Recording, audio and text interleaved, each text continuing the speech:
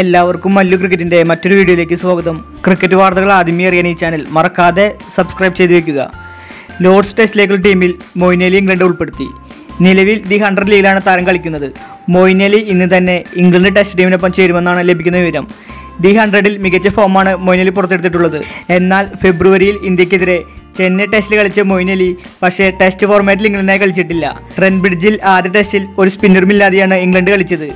ജാഗ്രിഷാണ് England സ്കോഡിലെ ഏക spinner ഇംഗ്ലണ്ടിനെതിരായ test പരമ്പരയിലെ രണ്ടാം മത്സരത്തിനുള്ള ഇന്ത്യൻ പ്ലേയിങ്ങിലും തിരഞ്ഞെടുത്ത് മുൻ ഇന്ത്യൻ താരവും കമന്റേറ്റർ കൂടിയായ സഞ്ജയ് മഞ്ചരേക്കർ. ആദ്യ ടെസ്റ്റിൽ മികച്ച പ്രകടനം പുറത്തെടുത്ത ഓൾറൗണ്ടർ രവീന്ദ്ര ജഡേജയും ഷാദുൽ താക്കൂറിനെയും ഒഴിവാക്കിയാണ് രണ്ടാം ടെസ്റ്റിനുള്ള ടീമിനെ മഞ്ചരേക്കർ തിരഞ്ഞെടുത്തത്. ഇരുവരെയും ഒഴിവാക്കിയതിന് പിന്നിലെ കാരണവും മഞ്ചരേക്കർ പറഞ്ഞു. ആദ്യ മത്സരത്തിൽ ഇന്ത്യ വിജയപ്രതീക്ഷ നിലനിർത്തിയിരുന്നുവെങ്കിലും അഞ്ചാം ദിനം മഴമൂലം ഉപേക്ഷിച്ചതിനാൽ മത്സരം സമനിലയിൽ കലാശിക്കുകയായിരുന്നു. മത്സരത്തിൽ വിക്കറ്റൊന്നും നേടാൻ സാധിച്ചില്ലെങ്കിലും ആദ്യ ഇന്നിംഗ്സിൽ അൻപത്താറ് റൺസ് നേടി മികച്ച പ്രകടനം ജഡേജ പുറത്തെടുത്തിരുന്നു. മറുഭാഗത്ത് ആദ്യ ഇന്നിംഗ്സിലും രണ്ടാം ഇന്നിംഗ്സിലും രണ്ട് വിക്കറ്റ് വീഴ്ത്തി തകർപ്പൻ പ്രകടനമായിരുന്നു താക്കൂർ കാഴ്ചവെച്ചത്. എന്നാൽ രണ്ടാം ടെസ്റ്റിൽ ഇരുവരെയും ഉൾപ്പെടുത്തരുതെന്ന നിർദ്ദേശമാണ് മഞ്ജരേക്കർ പറയുന്നത്.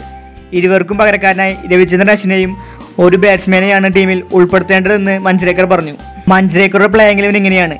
Rohit Sharma K L Rahul Cheteshwar Pujara Virat Kohli Ajinkya Rahane Hanuma Vihari Rishabh Pant Ravichandran Ashwin Muhammad Shami Jasprit Bumrah Muhammad Siraj. അപ്പോൾ ഇതുപോലത്തെ ക്രിക്കറ്റ് വാർത്തകൾ ആദ്യമേ അറിയാൻ ഈ ചാനൽ മറക്കാതെ സബ്സ്ക്രൈബ് ചെയ്ത് വെക്കുക.